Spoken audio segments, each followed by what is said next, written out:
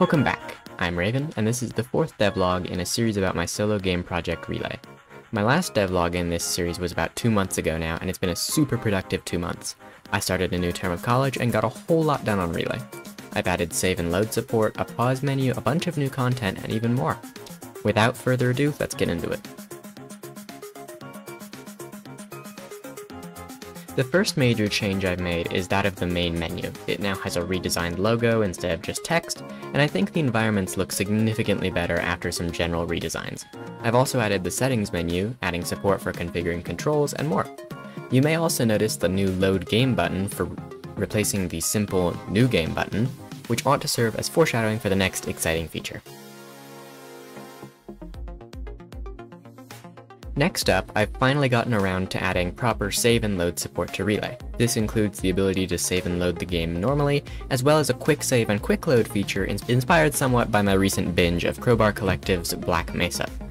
Black Mesa also really inspired me to spice up the intro sequence of Relay, something I've been working on a lot in the last couple weeks. Relay's new introduction sequence should serve to flesh out the story a little bit more. I feel this is important seeing as Relay is a story game at heart. Without mincing words, the beginning of the game now features a high-speed train. I based this a bit off of the introduction of Half-Life 1 while still trying to put as much originality into it as I could. The train canonically runs between Leviathan Corporation Post Aurora and Post Desolation, two of the primary locations in Relay's story. When it's fully completed, you will wake up from sleeping on the train a minute or two before it pulls into the station at Post Desolation. From there, I've added a train station and an elevator stop to the beginning of the level, which means you can now properly and enter and exit the elevator without any weird animation trickery. Along those lines, I finally got around to improving the elevator ride on the way into the Relay project. Previously, you just faded in from black into the elevator and all the walls were like opaque. There was no real sense of motion and the entry just didn't make sense, so I went ahead and made the back walls glass. This, I think, really contributes to the feeling of motion in the elevator since it felt generally very static before. This also included adding the entire elevator shaft to the game as the elevator would previously just like shake in place rather than actually moving.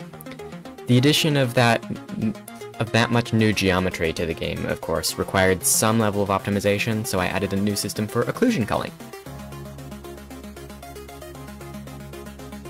I've often found Unity's occlusion culling to be lacking for most of my purposes. While this is likely not the case for many games, and I still highly recommend it, I've found the performance cost to be much more than the value provided. For that reason, I've written my own, much simpler and more primitive solution which simply disables and enables certain regions of the game when the player is out of their line of sight. These regions are predefined in the editor, which gives me a considerable amount of control over when certain parts of the game are visible. Unfortunately, the manual aspect of the new system does leave room for error, resulting in the occasional visual artifact or disappearing environment. Up next is something I'm super excited about, new content. I've been working hard to add more regions to the map of Chapter 1, and this includes a variety of cool environments.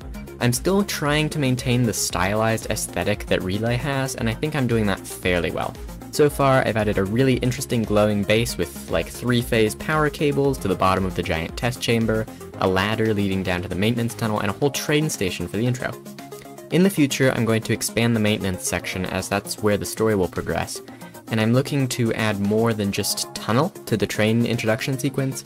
I want to show off a variety of both natural and man-made environments during the train ride, as well as providing a bit of background and lore on what makes LC different. If you saw the recent demonstration video on the Subsurface Studios YouTube channel, you'll probably be understandably a little confused about what SlightMapper is and why it's relevant. For that reason, I'm going to go into a bit more technical detail on why it's important for Relay. If you're not interested in the more technical bits, skip to the timestamp on the screen now. Alright, now that that's out of the way, it's time for some basic graphics programming fundamentals. A quick disclaimer, I am by no means a graphics programmer or tech artist. I am not trying to pitch this as a tutorial or replacement for learning these concepts on your own. That said, I found this sort of like conceptual understanding to be greatly beneficial even when not doing graphics work, so I'll explain it here regardless. If there are glaring factual errors, please feel free to point them out in the comments and I will add them to the pinned errata comment. That said, you do not need to be super pedantic unless you really want to. In essence, for a modern hardware accelerated renderer, you have a program called a shader. This program runs on the GPU or graphics processing unit. This is distinct from your CPU in that it can do a lot more work in parallel, but not necessarily as complex of work. Meanwhile, your CPU can do significantly more complex work, but only in series with some, with some caveats. For this reason, we defer graphics work to the GPU because it usually involves a lot of data that is typically independent of other data. Case in point, pixels don't normally rely on the color of other pixels. Back to shaders, shaders operate on points on an object called vertices and the pixels of the screen. The so-called vertex shader operates on the vertices of an object, moving them around and then projecting them onto the screen. From there, the GPU converts all the vertices and triangles of the scene into pixels, in a step called rasterization, before running the, quote, pixel shader. This program runs for every pixel on the screen and determines the color that is presented to the user for that pixel. Now, for this reason, we have effectively three ways to do lighting in Unity. One is to perform the lighting calculations for each vertex of the object, another is to do this calculation for every pixel of the screen. Lastly, we can use an image called a light map to store all the light information of an object before we actually render it, in a process called baking. Light mapping is usually the fastest of the three, with vertex lighting in second place and pixel lighting being the slowest. While pixel lighting produces great results, it does so by calculating the light data an immense number of times, which can greatly reduce the performance of a game. In contrast, vertex lighting runs only for each vertex of each object in the scene, making it usually much more efficient.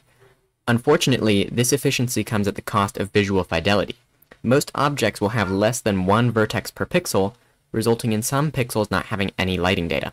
For this reason, we have to interpolate between the lighting data of nearby vertices in a process that may not necessarily reflect the true lighting conditions of the pixel.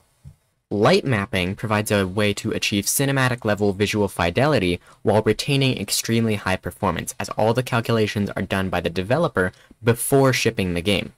Light mapping has one major drawback, however, and that is that all the lighting data is static. If you turn off a light in the scene, all the objects will stay illuminated because the texture storing the lighting data does not change. This issue is where SlightMap comes in.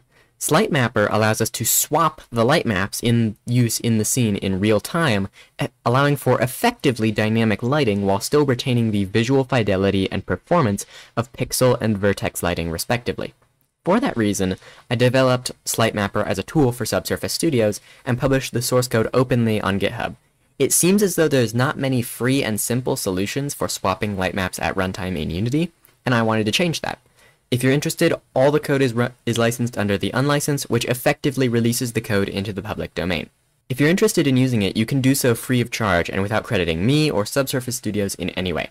I've put a link on the screen and in the description to the repository if you'd like to check it out. I hope you enjoy it if you get the chance. All that said, let's get back to Relay. Another issue I was noticing in Relay is that the saving system was somewhat unclear. It wasn't evident when you could and could not save the game, so I added a simple icon to the HUD that shows when you cannot save. I also made it quickly flash red when you try to quick save and can't. I tried to base a lot of the UI in Relay off a car's dashboard in some way, as it needs to be clear and visually concise. I also want to integrate it into the story in a number of ways, but talking about that quickly turns into Spoiler City, so I'm going to move along.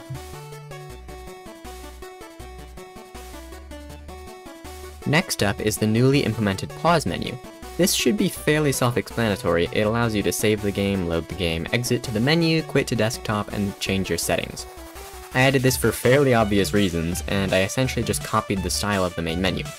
I also made it so that way whenever you quit to the menu or desktop, the game will always be saved before you exit. I really, really don't want players losing progress because they pushed the wrong button, so I'm doing my absolute best to prevent that.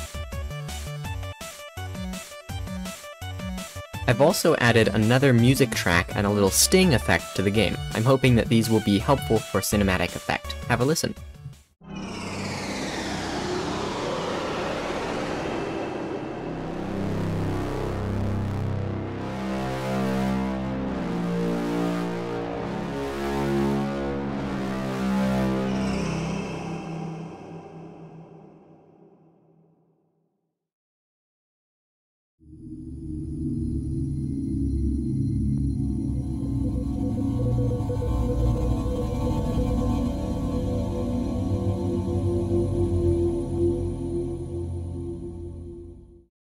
Well, that's about it for now. If there's anything major I missed, please feel free to let me know in the comments. If you'd like to have a discussion about Relay with me or just want to hang out, make sure to join the Subsurface Studios Discord server.